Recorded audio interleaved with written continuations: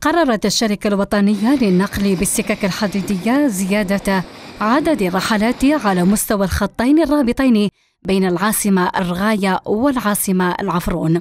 هذه الصائفة وذلك بداية من اليوم.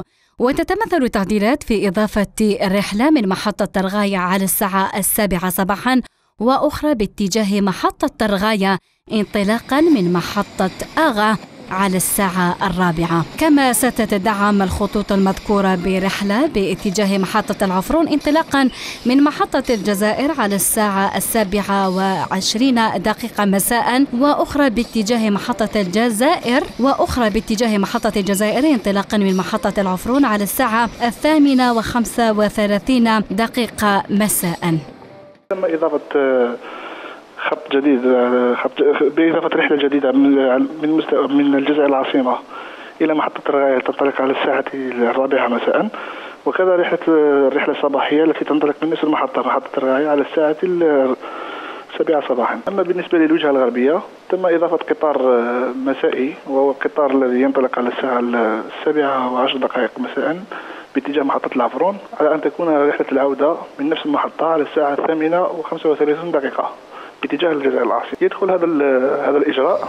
فما السبب الذي دفع الأسنتياف إلى زيادة عدد رحلاتها على مستوى الضاحيتين الشرقية والغربية وهي التي عودت زبائنها على تقليلها خلال موسم الصيف. التي تطمح تطمح لتقديم أفضل خدمة نقل في هذه الصائفة. كما تجدر الإشارة إلى أن هذا هذا التعديل ساري مفعول بالنسبة إلى فقط في شهر في شهر في هذه الصائفة فقط. وذلك بالنظر للطلب الكبير على على هذا الخط من طرف مستعملي القطار.